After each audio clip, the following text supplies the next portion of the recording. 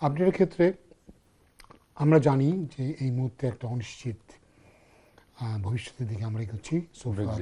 Brexit is concern কেবল আমাদের নতুন প্রধানমন্ত্রী বরিস জনসন তার আন্তর্জাতিক প্রেক্ষাপটে তার সবচেয়ে বড় তার প্রথম আজকে তার প্রথম কোনো অনুষ্ঠানে তিনি যাচ্ছেন তিনি উপস্থিত হচ্ছেন।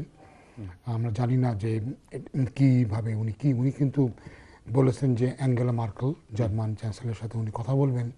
ব্রেক্সিট নেগোসিয়েশন আবার শুরু করার ব্যাপারে। কিন্তু আমরা দেখতে পাচ্ছি যে ব্রেক্সিটের ব্যাপারে ইউরোপ কিন্তু অনড় তারা কোনো পরিবর্তন করছে না। এটা নিয়েই আমাদের আজকের একমাত্র বা মূল্যবান আপডেট।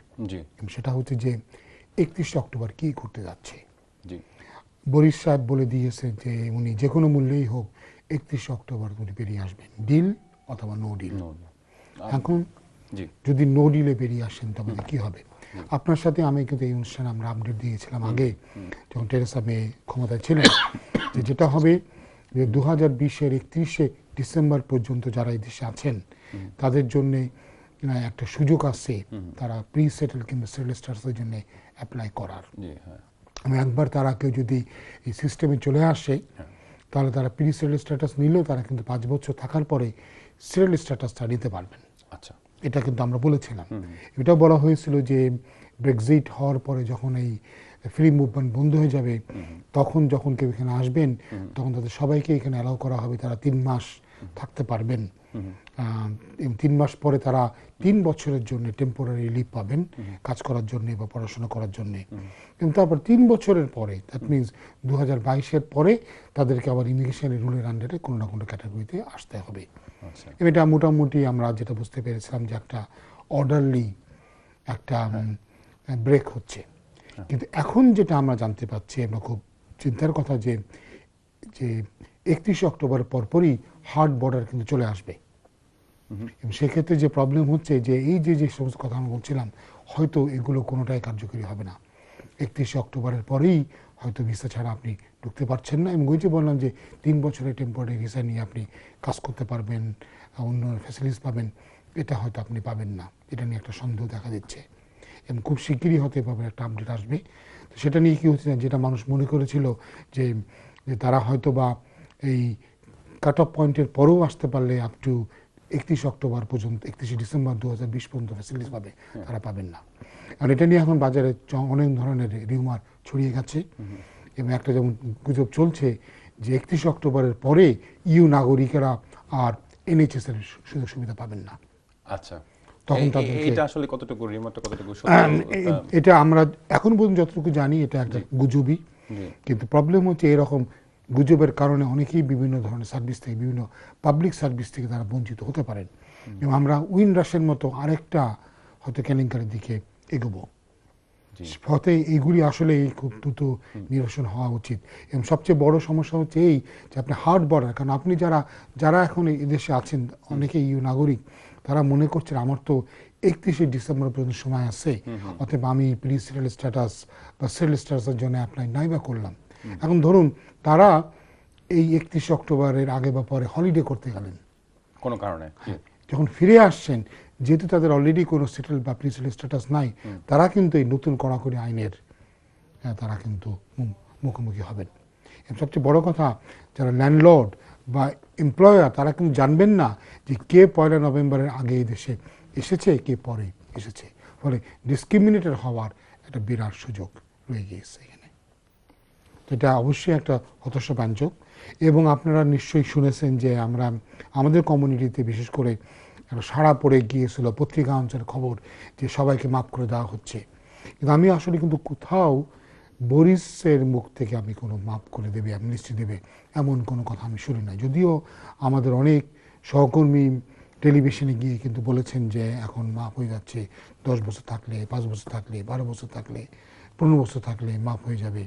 আমি কিন্তু কোথাও দেখি নাই এরকম কোনো কোনো প্রতিশ্রুতি সরকার। অন্তত বরিস জনসন ক্ষমতা আসার পরে উনি বলেছেন।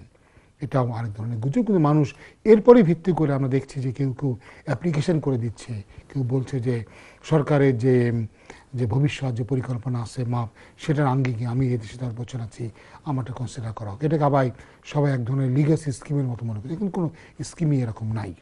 আচ্ছা এই ধরনের কোনো অ্যাপ্লিকেশন আছে কিনা? যে ওভারস্টেয়ার দের জন্য সেপারেট অ্যাপ্লিকেশন সিস্টেম এই ধরনের কোনো ফর্ম আছে কিনা? আম- আমরাও শুনছিলাম যে এই ধরনের একটা ফর্ম ছিল যে যারা ওভারস্টেয়ার বা যাদের লিগ্যাল বেসিস নাই দেশে, তাদের জন্য ডিফারেন্ট একটা। তা তাদের কোনো কোনো, যাদের কোনো বেসিস নাই, তাদের বেসিস হচ্ছে চলে যাও, তারা ভলেন্টারি রিটার্নের জন্য তারা চাইতে পারে। এবং তারা বিভিন্ন সংস্থার কাছ থেকে তারা চলে যাওয়ার জন্য প্লেন ভাড়া বা অন্যান্য সাপোর্ট তারা পেতে পারে ভলেন্টারি রিটার্ন এটারই একটা ফর্ম আছে। অ্যাপ্লিকেশন আপনাকে করতে গেলে ইমিগ্রেশন লর কোনো না কোনো ক্যাটাগরি আন্ডারে আপনাকে অ্যাপ্লিকেশন করতে হবে। তো দুঃখজনক যে এটার পরে ভরসা না। আমি আমার কাছে অনেকেই ফোন করেছেন বা খবর নিয়েছেন যারা জানতে চাচ্ছেন যে যে এখন তো নতুন আইন হয়ে গেছে আমি অ্যাপ্লাই করতে পারব কিনা? প্রশ্ন করা যে কি নতুন আইন হয়েছে? এবার আপনি জানেন না এবং সবাইকে তো পারমিশন থাকতে দিয়ে দিয়েছে। আপনি আপনি কবে শুনলেন বলে না এটা সবাই জানে। এখন সবাই জানলো এটা আমি জানতে পারলাম না। এটা আমার জন্য দুঃখজনক। তো সবাই জেনে গেছে কিন্তু আমি যতদূর জানি এরকম কোনো ঘটনাই ঘটে নাই এবং এরকম আদৌ কোনো পরিকল্পনা সরকার আছে এখানে এরকম কোনো কথা কেউ বলে নাই। যেটা বলা হয়েছে সেটা হচ্ছে যে Australian style point base system চালু হবে। অস্ট্রেলিয়ার যারা।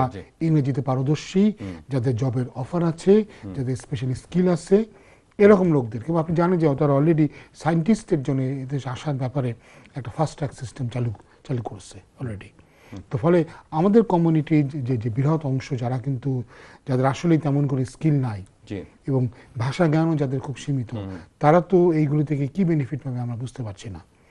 আর একত্রিশে অক্টোবরের মধ্যে যদি ব্রেক্সিট অর্ডারলি না হয় তাহলে আমরা দেখেছি যে পার্লামেন্টে কিন্তু নো নো কনফিডেন্স মোশন আসতে পারে।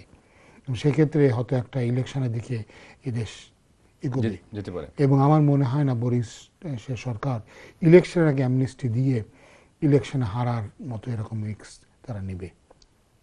জি।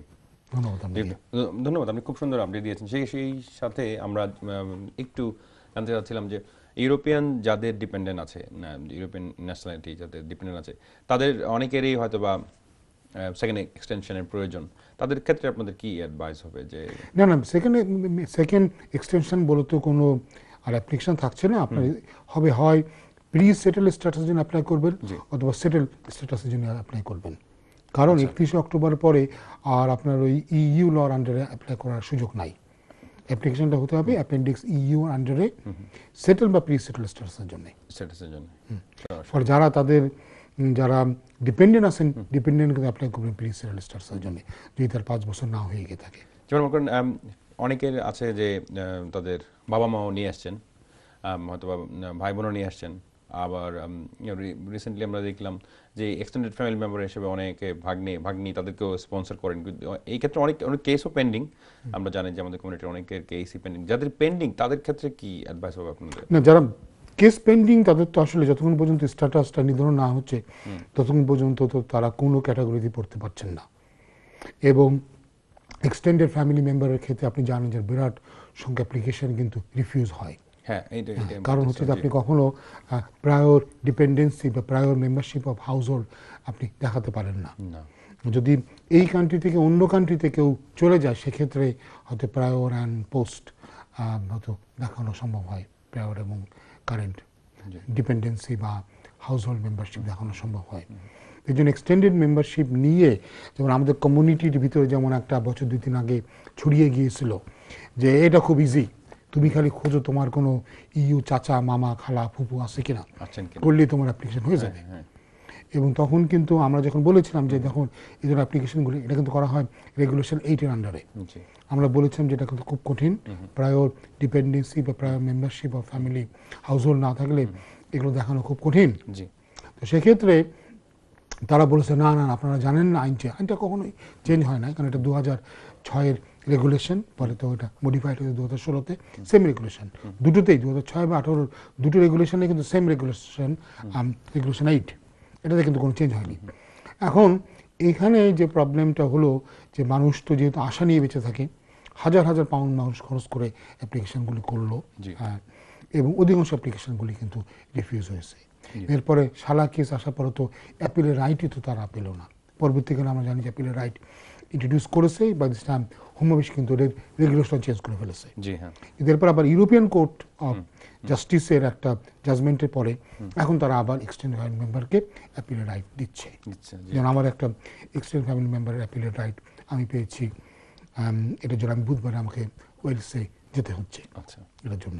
তো এখন সমস্যাটা হচ্ছে এই যে আমরা যখন একটা গুজব ছড়িয়ে যায় গুজব ছড়ানোর পরে আমরা দেখি যে অনেকেই হাজার হাজার লোক মানে এখানে অ্যাপ্লিকেশন করে দেন এবং পরবর্তীকালে ভুক্তভোগী হয়ে একটা একটা ভালো ইমিগ্রেশন স্ট্যাটাসকে খারাপের দিকে নিয়ে যায়। এখানে একবার যদি রিফিউজ হওয়া শুরু করে হ্যাঁ। তাহলে তো আপনার ইমিগ্রেশন হিস্ট্রিতে একটা দাগ পড়ে গেল।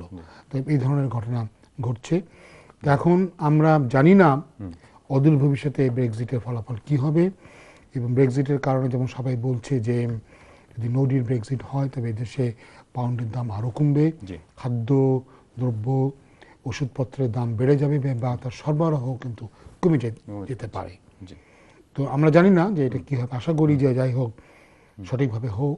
তবে যদি ইলেকশনের দিকে যেতে চাই তাহলে কিন্তু মনে করা হচ্ছে যে ইলেকশন হলে কিন্তু লেবার পার্টির পজিশন হবে এই যে Brexit with deal or no deal or no Brexit no Brexit